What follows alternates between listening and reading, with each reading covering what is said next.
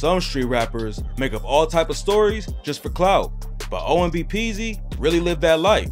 He had a wild come up in Alabama, and last year, he got arrested for allegedly shooting at Roddy Ricch and 42 Dugg while they was filming a music video.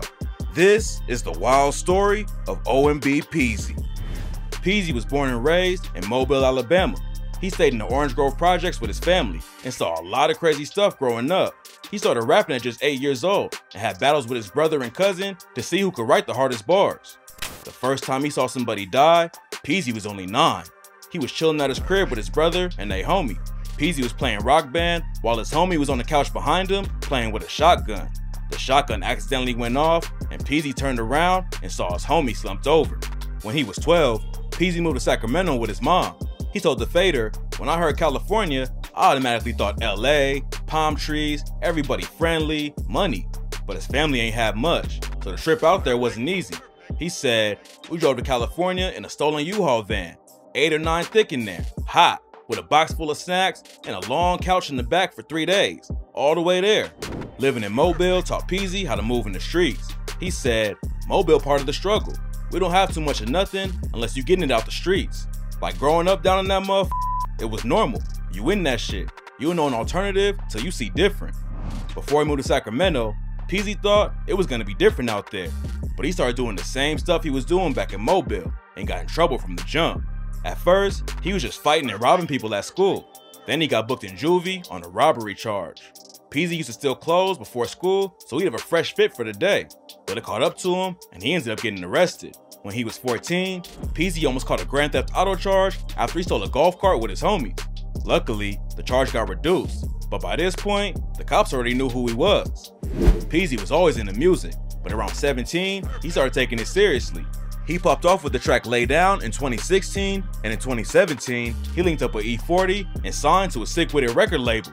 Later that year, he also signed a deal with 300 Entertainment, and his career leveled up. Peezy hustled in the rap game for a couple years and built a solid fan base, but in 2019, he almost got killed in his hometown after a show. In March 2019, Peezy opened up for Boosie Badass in Mobile. Everything was cool at the show, but the after party was where it really turned up. A huge fight broke out at some point during the party, and Peezy saw a dude dressed just like him stomping another dude out. Peezy and his homies decided to shake before things got worse, but when they got outside, somebody started shooting and hit him in the foot. According to Peezy, he was just in the wrong place at the wrong time. He thinks the shooter was trying to get to the other dude who had the same outfit, and Peezy was just unlucky that night. He told Say Cheese that the cops actually laughed at him when he pulled up on the scene. And after he got to the hospital, they sat him in a room with no painkillers for like three hours before anyone treated him. He hopped on IG and told his fans, shot me. At first, nobody knew what was going on, but his reps told everyone he was good. After he got out of the hospital, Peezy let everyone know he wasn't gonna let it slow him down. He tweeted, thank y'all for the support and prayers. They try to take a out, but I'm still standing. That's my testimony. Starting a thread for anybody who been through some real shit reply with a hashtag testimony. Luckily, he got out of the situation alive.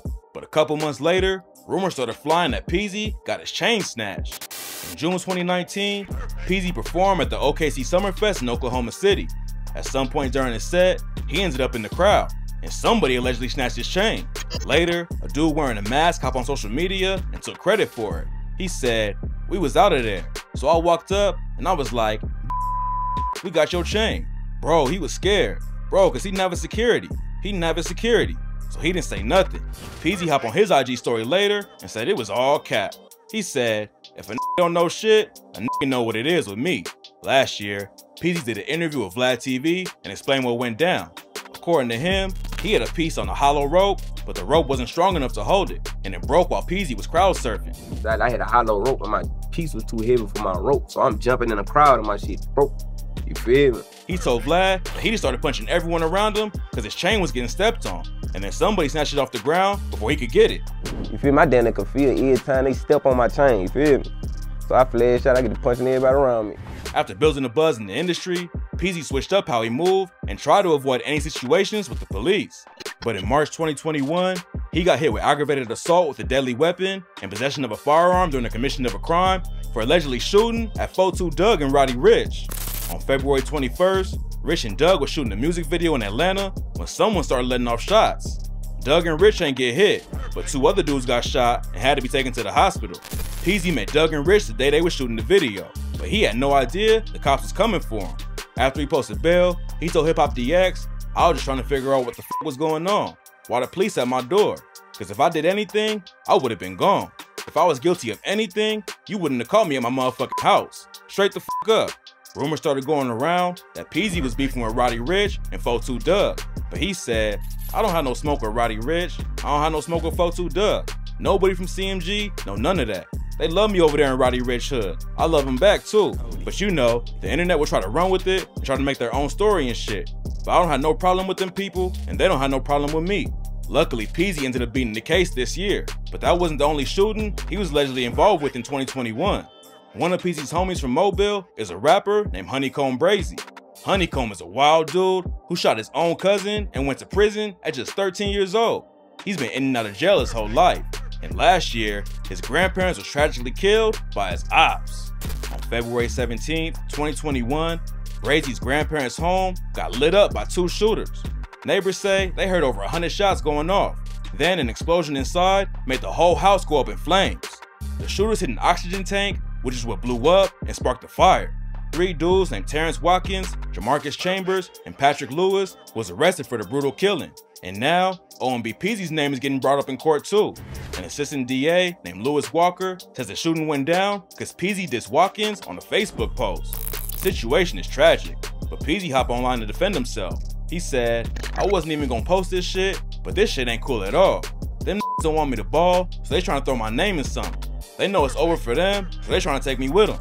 P.S. I don't got no beef with nobody, especially the police. Peezy has talked about how the media loves negative attention before. He's always giving back to the community and trying to help people out, but he says the positive stuff always gets overlooked. Back when the news broke about the music video shooting, Peezy had just gave away $20,000 worth of toys, but the media never showed that side of him. It don't seem likely that Brazy's grandparents got killed over a post from Peezy. Brazy has all kinds of beef in Mobile. Darren Southall is a drug lord who admitted to making around $24 million off of cocaine and heroin. Southall ended up getting booked for the murder of Brazy's grandparents too. According to the cops, the other dudes in the case all worked for him and sold drugs too. Southall's already facing over 30 years on drug charges, so if he goes down for the murder, he'll end up in prison for life. OMB Peezy is also having issues with another rapper from Mobile named No Cap. Back in August, he went on Community Podcast and called him a but he didn't air out what was going on behind the scenes. Eh, what is he? Is he, he is he ops or is he homies? I don't know. Is he ops? He's a. Oh shit! What there it is. Peezy and No Cap have tracks together, but obviously something went down that started the beef.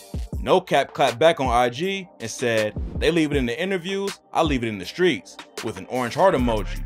The orange heart represents the Orange Grove projects where Peezy came up, so No Cap was letting everyone know who he was talking about. No Cap is also close to NBA Youngboy and signed to his Never Broke Again label a few years ago. Youngboy and Peezy have collabed before too, but if the beef is for real, Youngboy will probably side with his artist. Peezy said he's still rocking with Youngboy, but if the situation heats up, that could definitely change. Hopefully, they let the drama slide and get back to making music. There's not a lot of rappers popping off from Mobile, so Peezy and No Cap can link back up and really put on for the city if they squash the beef. Peezy had a wild come up and a lot of close calls, but he's obviously trying to leave the streets behind and make it in the rap game. Luckily, he beat the gun charges he got booked on last year, so now he can focus on the music.